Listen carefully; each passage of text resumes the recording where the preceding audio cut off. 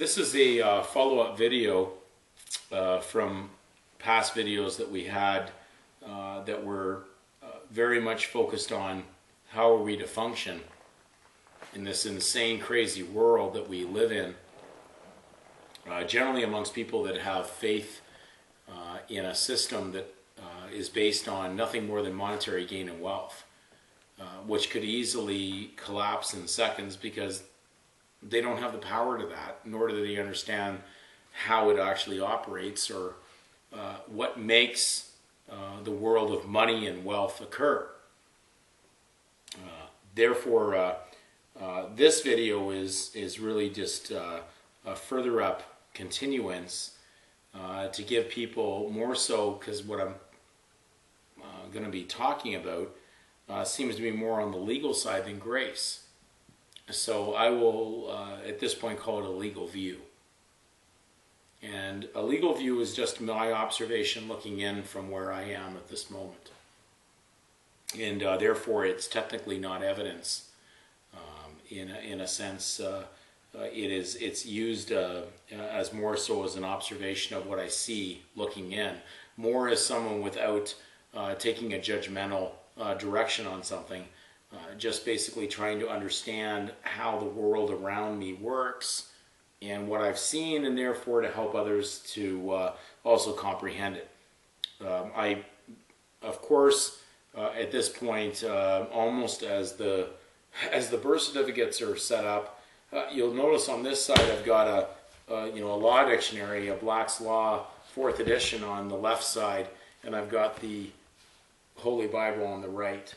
So you'll notice that your surname will be on the left side, at least what appears to be the surname, and your actually real truth is on the right side, a little bit of a set off between good and evil.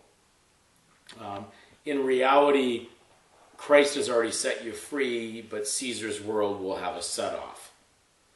A set off is a little different than a set free. If you're free, you're free.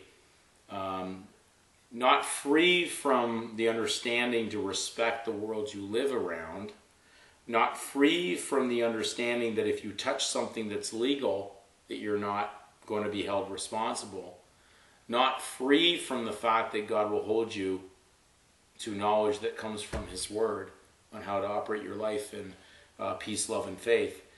But uh, we're, we're dealing with now uh, going ahead and uh, using our conscious uh, scruple to not violate belief and faith, and where Caesar's world may actually cause a concern because at this particular stage right now in the world, it is moving ever so close to the fact that all those that are democratic participants will have eventually a choice between their conscious scruple to serve God and be subsumed into the aggregate to, to just rationalize that they can be involved in the wrong and still be okay with God. And therefore, all those that buy and sell will soon get the mark of the beast. So it had to do with commerce. Strangely, the final uh, prophecy on who those will be marked as a beast uh, will be based on the idea of commerce. And we already know the scripture already states you cannot serve God in mammon, God in money. Um, so therefore, uh, someone having this beast mark uh, is shortly coming. It won't be a matter of voluntary consent. It'll be that if you have anything that's already linked in or locked in, in order to confirm it, to attest for it, uh, to uh, uh, basically claim it under a some form of civil right, uh, you will have to come forward and comply in the aggregate of mankind, which deals with the idea of humanitarianism, to get the mark of the beast.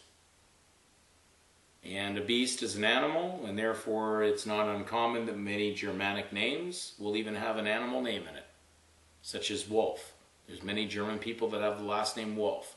Well, if your name was John and your supposed last name is Wolf, you'd be John the wolf.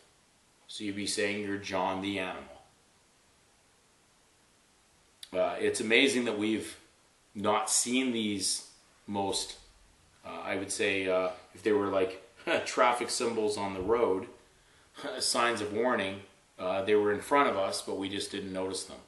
So it, the videos to come um, are going to be based on explaining some clear understandings of how Caesar's world operates um, and what are you to do uh, in the midst of uh, trying to, uh, at least on a spiritual aspect, uh, seek first the kingdom of God, okay, which has nothing to do with seeking mammon or money, and therefore not violate your faith, your conscience, your Christian scruples that are found in this book, your Christian's charter, and uh, remain free and separate from the world of mankind that has gone into what is uh, clearly a world of humanitarianism, thinking that man can solve its own problems, which we know is erroneous to God's final plan revelation.